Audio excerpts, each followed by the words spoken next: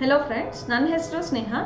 ನಾನು ಆ್ಯಪ್ಟಿಟ್ಯೂಡ್ ಮತ್ತು reasoning trainer ನಿಮಗೆಲ್ಲ ಗೊತ್ತಿದೆ ಅನ್ಕೊತೀನಿ S S C M T S twenty twenty four notification ಬಂದಿದೆ ಅಲ್ವಪ್ಪ?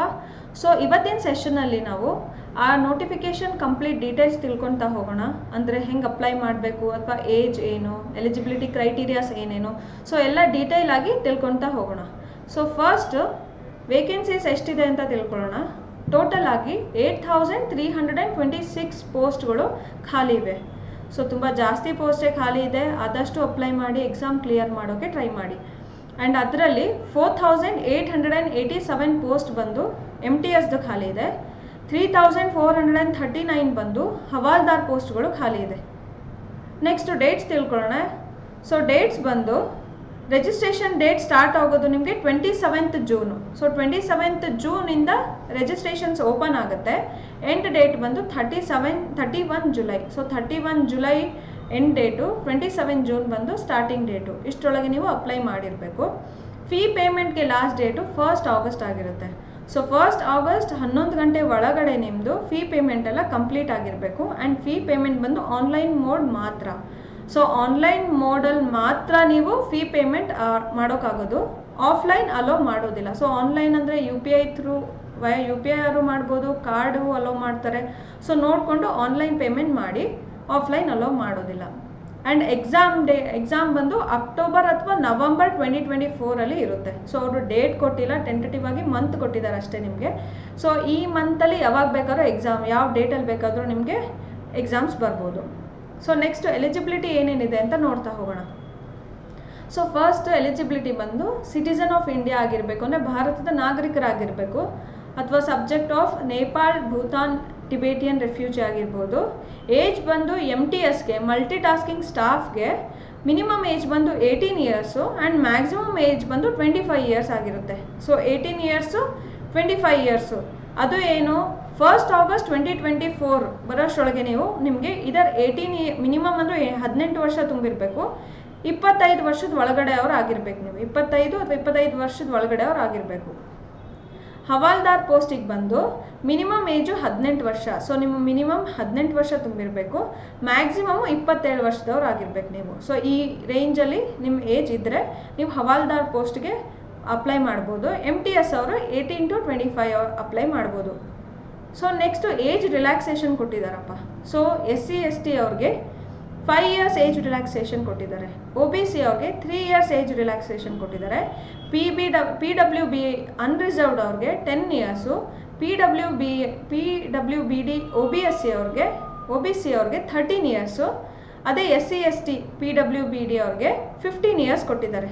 ಸೊ ಈ ಏಜ್ ರಿಲ್ಯಾಕ್ಸೇಷನ್ನು ನಿಮಗೆ ಅಪ್ಲೈ ಆಗುತ್ತೆ ಅಂದರೆ ನೀವು ಎಕ್ಸ್ಟೆಂಡ್ ಅಂದರೆ ಟ್ವೆಂಟಿ ಫೈವ್ ಪ್ಲಸ್ ಎಷ್ಟು ನೀವು ಏಜ್ ಇದ್ದೀರಾ ನೋಡಿಕೊಂಡು ಅಪ್ಲೈ ಮಾಡ್ತಾ ಹೋಗಿ.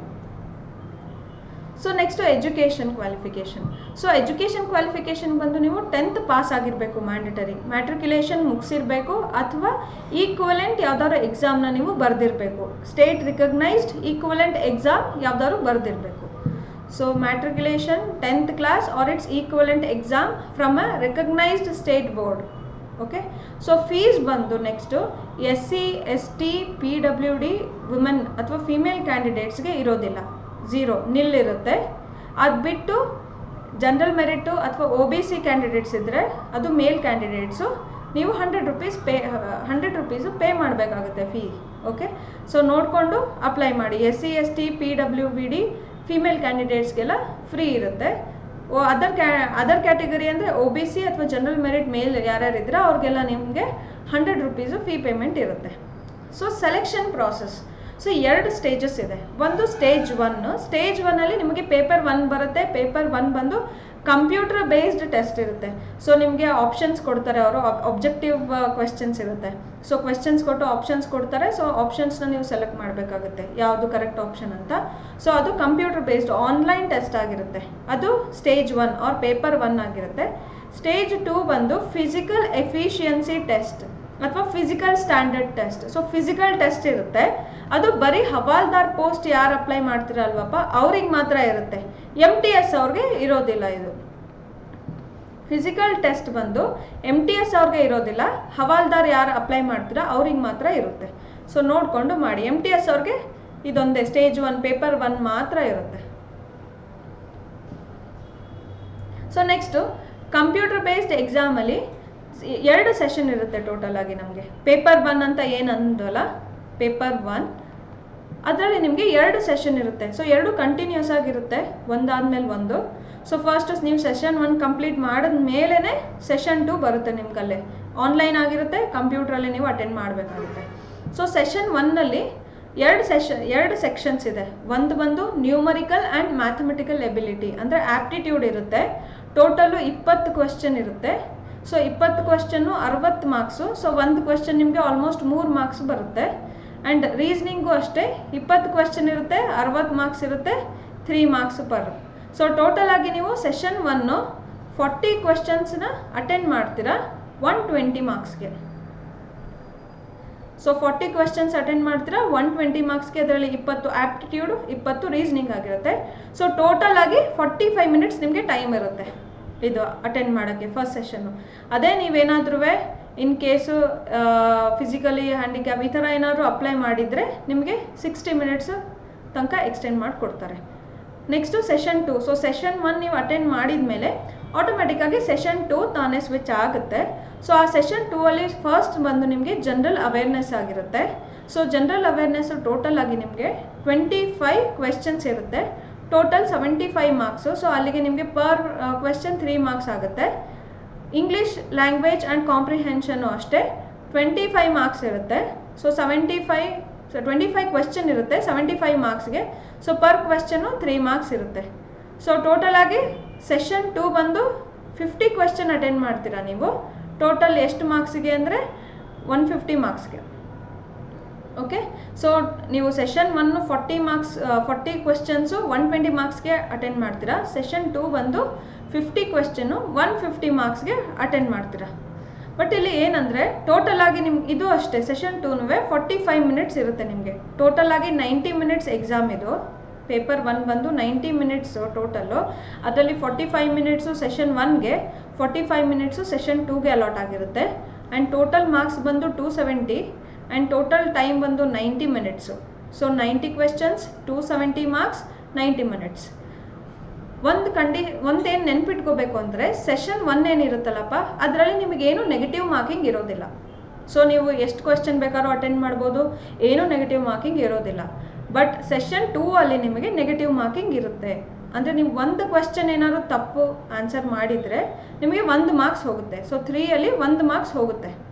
ನೆನ್ಪಿಟ್ಕೊಳ್ಳಿ. So session one no negative marking session two ಅಲ್ಲಿ ಒನ್ ಮಾರ್ಕು ಡಿಡಕ್ಟ್ ಮಾಡ್ತಾರೆ. ನೆಗೆಟಿವ್ ಇನ್ ಕೇಸ್ ಕ್ವಶನ್ ಏನಾದ್ರು ನೀವು ಆನ್ಸರ್ ನಿಮ್ಮದು ತಪ್ಪಾಗಿದ್ದರೆ ಒನ್ ಮಾರ್ಕ್ಸು ಡಿಡಕ್ಟ್ ಮಾಡ್ತಾರೆ.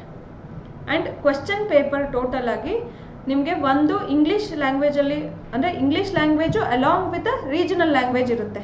ಸೊ ನೀವು ರೀಜನಲ್ ಲ್ಯಾಂಗ್ವೇಜ್ ಏನಾದರೂ ಕನ್ನಡ ಅಂತ ಸೆಲೆಕ್ಟ್ ಮಾಡಿಕೊಂಡ್ರೆ ನಿಮಗೆ ಫಸ್ಟ್ ಇಂಗ್ಲೀಷಲ್ಲಿ ಕ್ವಶನ್ ಬರುತ್ತೆ, ಕೆಳಗಡೆ ಕನ್ನಡದಲ್ಲಿ ಕ್ವಶನ್ ಬರುತ್ತೆ. ಸೊ ಅದು ನಿಮಗೆ ಬಿಟ್ಟಿದ್ದು ಇದರ ಕನ್ನಡ, ಹಿಂದಿ ನಿಮಗೆ ಯಾವುದು ಕನ್ವೀನಿಯೆಂಟ್ ಅನಿಸುತ್ತೆ, ಆ ಲ್ಯಾಂಗ್ವೇಜ್ ನೀವು ಸೆಲೆಕ್ಟ್ ಮಾಡ್ಕೋಬೋದು. ಸೊ ಇಷ್ಟು ಬಂದು ಕಂಪ್ಯೂಟರ್ ಬೇಸ್ಡ್ ಎಕ್ಸಾಮ್ ಬಗ್ಗೆ ಡೀಟೇಲ್ಸು ಆಮೇಲೆ ಸೆಷನ್ ಬಗ್ಗೆ ನೆಗೆಟಿವ್ ಮಾರ್ಕಿಂಗ್ ಆಗಲಿ ಅಥವಾ ಯಾವ ಥರ ಲ್ಯಾಂಗ್ವೇಜಸ್ ಇರುತ್ತೆ, ಎಲ್ಲ ಡೀಟೇಲ್ಸು ಸೊ ನೆಕ್ಸ್ಟ್ ಯಾವ ಥರ ಸೆಲೆಕ್ಷನ್ ಮಾಡ್ತಾರೆ ಅಂತ. ಸೊ ಮೋಡ್ ಆಫ್ ಸೆಲೆಕ್ಷನ್ ಹೆಂಗಿರುತ್ತೆ ಅಂತಂದರೆ ಇನ್ ಕೇಸು ಈಗ ನಿಮ್ಮದು ಸೆಷನ್ ಒನ್ನಲ್ಲಿ ಸೆಷನ್ ಒನ್ ಸೆಷನ್ ಟೂ ಅಂತ ಎರಡು ಏನು ಇರುತ್ತಲ್ವಪ್ಪ? ಸೊ ಸೆಷನ್ ಒನ್ನಲ್ಲಿ ನಿಮಗೆ ಮಿನಿಮಮ್ ಅಂದ್ರೂ ಇಷ್ಟು ಮಾರ್ಕ್ಸ್ ಬರಬೇಕು. ಅಂದರೆ ಅನ್ರಿಸರ್ವ್ಡ್ಗೆ ಥರ್ಟಿ ಪರ್ಸೆಂಟ್ ಬರಬೇಕು. ಒ ಬಿ ಸಿ ಅಥವಾ ಎಕನಾಮಿಕ್ ವೀಕರ್ ಸೆಕ್ಷನ್ ಅವ್ರಿಗೆ twenty five percent of the total marks all other category ಅವ್ರಿಗೆ ಟ್ವೆಂಟಿ ಪರ್ಸೆಂಟು ಸೊ ಇಷ್ಟು ಮಾರ್ಕ್ಸು ನೀವೇನಾದ್ರು ಎಲಿಜಿಬಲ್ ಆದರೆ ಮಾತ್ರ ಸೆಷನ್ ಒನ್ನಲ್ಲಿ ನೀವು ಇಷ್ಟು ಮಾರ್ಕ್ಸ್ ತೊಗೊಂಡು ಕ್ವಾಲಿಫೈ ಆದರೆ ಮಾತ್ರ ನಿಮ್ಮದು ಸೆಷನ್ ಟೂ ಪೇಪರು ವ್ಯಾಲ್ಯೂಯೇಷನ್ ಆಗುತ್ತೆ. ಅಥವಾ ಸೆಷನ್ ಟೂ ಪೇಪರ್ನ ಇವ್ಯಾಲ್ಯೂಯೇಟ್ ಮಾಡ್ತಾರೆ.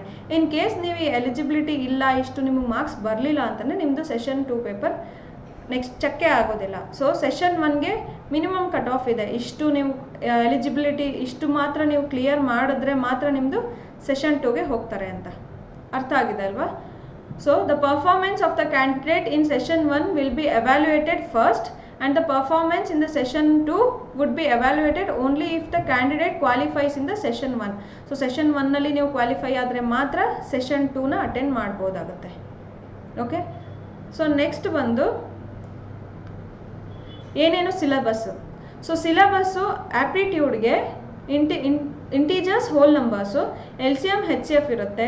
Decimal fraction relationship between numbers fundamental arithmetic operation bodmas percentage ratio proportion work time direction sorry direct and inverse proportion average simple interest compound interest ಅಥವಾ profit and loss discount distance line lines and angles so graphs so ಇವೆಲ್ಲನೂ ಆ್ಯಪ್ಟಿಟ್ಯೂಡಲ್ಲಿ ನಿಮಗೆ syllabus ಇರುತ್ತೆ.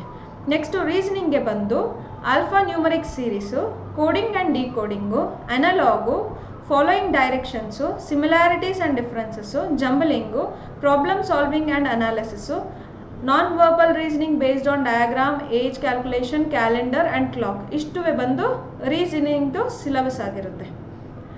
S M T S sorry ಇಂಗ್ಲೀಷ್ದು language ಬಂದು English ಲ್ಯಾಂಗ್ವೇಜ್ದು ನಿಮಗೆ spot the error fill in the blanks synonyms antonyms spelling error ಏನೇನಿರುತ್ತೆ at detect ಮಾಡಬೇಕು. Idioms and phrases one word substitution improvement of sentence comprehensive passage so passages ಕೊಡ್ತಾರೆ, ನೀವು ಅದಕ್ಕೆ questions question ಇರುತ್ತೆ, ಅದಕ್ಕೆ answer ಮಾಡ್ತಾ ಹೋಗಬೇಕು. ಸೊ ಇಷ್ಟು ಬಂದು ಇಂಗ್ಲೀಷ್ದು ಸಿಲೆಬಸ್ ಆಗಿರುತ್ತೆ. ಸೊ ಇದು ರೀಸನಿಂಗ್ ಸಿಲೆಬಸ್ ಇದು ಇಂಗ್ಲೀಷ್ ಸಿಲೆಬಸ್ ಇದು aptitude syllabus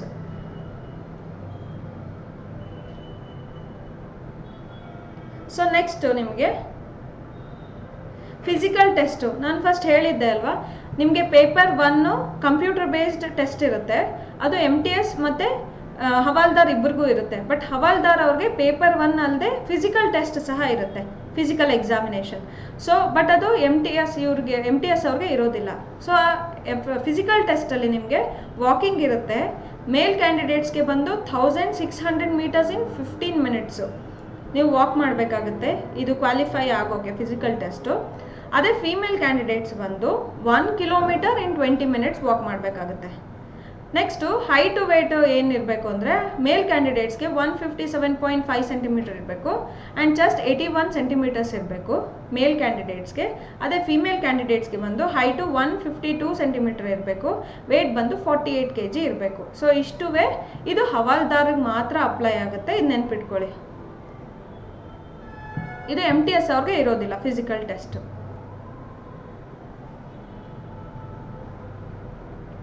so next physical test ಬಗ್ಗೆ ತಿಳ್ಕೊಂಡ್ವಿ.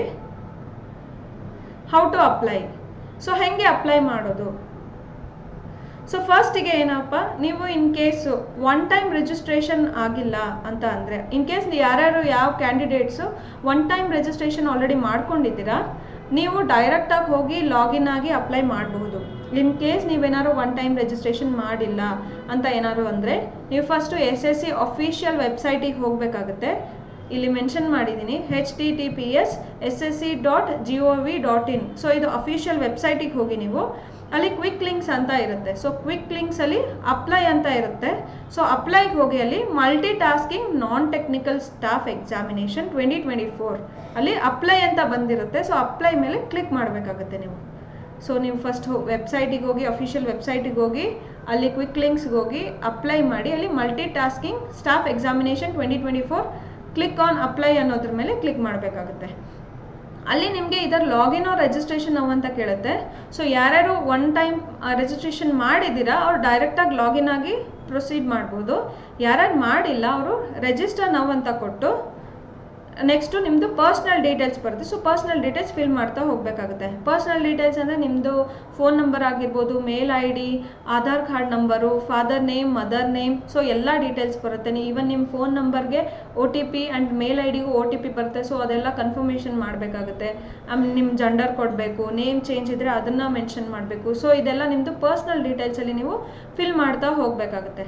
ಸೊ ಒನ್ಸ್ ನೀವು ಪರ್ಸ್ನಲ್ ಡೀಟೇಲ್ಸ್ನೆಲ್ಲ ಫಿಲ್ ಮಾಡಿದ್ಮೇಲೆ ಸಬ್ಮಿಟ್ ಕೊಡ್ತೀರಾ ಅಂತ ಅಂತ ಆದಮೇಲೆ ನಿಮ್ಮ ರಿಜಿಸ್ಟರ್ಡ್ ಮೊಬೈಲ್ ನಂಬರ್ ಮತ್ತು ರಿಜಿಸ್ಟರ್ಡ್ ಮೇಲ್ ಐ ಡಿಗೆ ನಿಮ್ಮದು application number along with login I D ಮತ್ತು ಪಾಸ್ವರ್ಡ್ ಬರುತ್ತೆ. ಸೊ ನೀವು ಮತ್ತೆ ಆ ಲಾಗಿನ್ ಐ ಡಿ ಮತ್ತು ಪಾಸ್ವರ್ಡ್ ಯೂಸ್ ಮಾಡಿಕೊಂಡು ಮತ್ತೆ ಲಾಗಿನ್ ಆಗಬೇಕಾಗುತ್ತೆ. ಸೊ ಲಾಗಿನ್ ಆಗಿ ಒಂದ್ಸಲ ಪಾಸ್ವರ್ಡ್ ಚೇಂಜ್ ಮಾಡಬೇಕು. ಅವ್ರು ಕೊಟ್ಟಿರೋ ಪಾಸ್ವರ್ಡ್ನ ಬಿಟ್ಟು ಮತ್ತೆ ನೀವು ಇನ್ನೊಂದ್ಸಲ ಪಾಸ್ವರ್ಡ್ನ ಚೇಂಜ್ ಮಾಡಿ ಮತ್ತೆ ರೀಲಾಗಿನ್ ಆಗಬೇಕು. ಆಮೇಲೆ ಲಾಗಿನ್ ಆದಮೇಲೆ ನೀವು ನಿಮ್ಮದು recent passport size photo. So ಆ ಪಾಸ್ಪೋರ್ಟ್ ಸೈಜ್ ಫೋಟೋ ಬಂದು twenty to fifty K B ಈ ರೇಂಜಲ್ಲಿ ಇರಬೇಕು. ಟ್ವೆಂಟಿ ಕೆ ಬಿ ಮೇಲೆ ಫಿಫ್ಟಿ ಕೆ ಬಿ ಒಳಗಡೆ ಆಗಿರಬೇಕು. ಆ್ಯಂಡ್ ಸಿಗ್ನೇಚರು, ಅದು one to twelve K B ಒಳಗಡೆ ಇರಬೇಕು.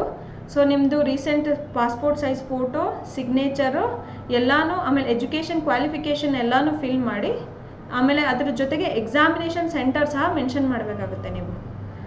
ಒನ್ಸ್ ನೀವು ಈ ಪರ್ಸ್ನಲ್ ಡೀಟೇಲ್ಸ್ ಫಿಲ್ ಮಾಡಿದ್ಮೇಲೆ ನಿಮ್ಮ ಪರ್ಸ್ನಲ್ ಮೇ, ನೀವೇನು ರಿಜಿಸ್ಟರ್ಡ್ ಮೇಲ್ ಐ ಡಿ ಮತ್ತು ನಂಬರ್ ಕೊಟ್ಟಿರ್ತೀರಲ್ಲಪ್ಪ, ಅಲ್ಲಿ ನಿಮಗೆ ನಿಮ್ಮದು application number along with login I D password ಬರುತ್ತೆ. ಸೊ ಅದಾದಮೇಲೆ ನೀವು ಅದು login I D password use ಮಾಡಿಕೊಂಡು ಮತ್ತೆ ರೀಲಾಗಿನ್ ಆಗಿ ನಿಮ್ಮ ಪಾಸ್ವರ್ಡ್ ಚೇಂಜ್ ಮಾಡಿ ಸೊ ಪಾಸ್ವರ್ಡ್ ಚೇಂಜ್ ಮಾಡಿದ ಮೇಲೆ ಮತ್ತೆ ನೀವು ನಿಮ್ಮ ಫೋಟೋ ಸಿಗ್ನೇಚರು ಮತ್ತು ನಿಮ್ಮದು ಯಾವ ಎಕ್ಸಾಮಿನೇಷನ್ ಸೆಂಟರ್ ಬೇಕು, ಮತ್ತು ಎಜುಕೇಷನ್ ಕ್ವಾಲಿಫಿಕೇಷನ್ ಎಲ್ಲನೂ ಕೊಡ್ತಾ ಹೋಗಬೇಕಾಗುತ್ತೆ. ಅದಾದಮೇಲೆ ಸಬ್ಮಿಟ್ ಮಾಡಿ ಫೀ ಪೇಮೆಂಟ್ ಮಾಡಿದ್ರೆ ನಿಮಗೆ ಇದು ಅಪ್ಲಿಕೇಶನ್ನು ಕಂಪ್ಲೀಟ್ ಮಾಡ್ದಂಗೆ ಆಗುತ್ತೆ. ಸೊ ಪ್ರತಿ ಸ್ಟೇಜಲ್ಲೂ ಕೇರ್ಫುಲ್ಲಾಗಿ ಅಪ್ಲೋಡ್ ಮಾಡಿ ಫೋಟೋ ಸಿಗ್ನೇಚರ್ಸ್ ಎಲ್ಲ ಏನೇನು ಕೆ ಬಿ ಇದೆ ಅಷ್ಟರೊಳಗೆ ನೀವು ಮಾಡ್ತಾ ಹೋಗಬೇಕಾಗುತ್ತೆ. ಆ್ಯಂಡ್ ಫೀ ಪೇಮೆಂಟು ನಾನು ಆವಾಗಲೇ ಮೆನ್ಷನ್ ಮಾಡ್ದಂಗೆ O B C male candidate general male ಕ್ಯಾಂಡಿಡೇಟಿಗೆ ಮಾತ್ರ ಇರುತ್ತೆ. ಫಿಮೇಲ್ ಕ್ಯಾಂಡಿಡೇಟ್ಸು ಅಥವಾ S C S T P W B D ಇವ್ರು ಯಾರಿಗೂ ಇರೋದಿಲ್ಲ. ಸೊ ನಿಮಗೆ ಡೈರೆಕ್ಟಾಗಿ ಸ್ಕಿಪ್ ಆಗಿ ಸಬ್ಮಿಟ್ ಆಗಿಬಿಡುತ್ತೆ. ಯಾರ್ಯಾರಿಗೆ ಫೀ ಪೇಮೆಂಟ್ ಇದೆ ಅವ್ರಿಗೆ ಪೇಮೆಂಟ್ ಮಾಡಬೇಕು ಆ್ಯಂಡ್ ಆನ್ಲೈನ್ ಮೋಡ್ ಮಾತ್ರ ಇರೋದು. ಸೊ ಆನ್ಲೈನ್ ಮಾತ್ರ ಮಾಡಬೇಕಾಗುತ್ತೆ. ಸೊ ಇಷ್ಟು ನೀವು ಮಾಡಿದ್ರೆ ಅಪ್ಲಿಕೇಶನ್ ಮಾ ಸಬ್ಮಿಟ್ ಮಾಡ್ದಂಗೆ. ಸೊ ಒಂದ್ಸಲ ಅಪ್ಲಿಕೇಶನ್ ಆದಮೇಲೆ ಒಂದು ಕಾಪಿನ ನೀವು ಸೇವ್ ಮಾಡಿ ಇಟ್ಕೊಳ್ಳಿ ಪಿ ಡಿ ಎಫ್ ಆಗಿ. ಸೊ ನಿಮಗೆಲ್ಲ ಅರ್ಥ ಆಗಿದೆ ಅಂತ ಅಂದ್ಕೊತೀನಿ ಚೆನ್ನಾಗಿ ಮಾಡಿ ಎಕ್ಸಾಮ್ಸು ಥ್ಯಾಂಕ್ ಯು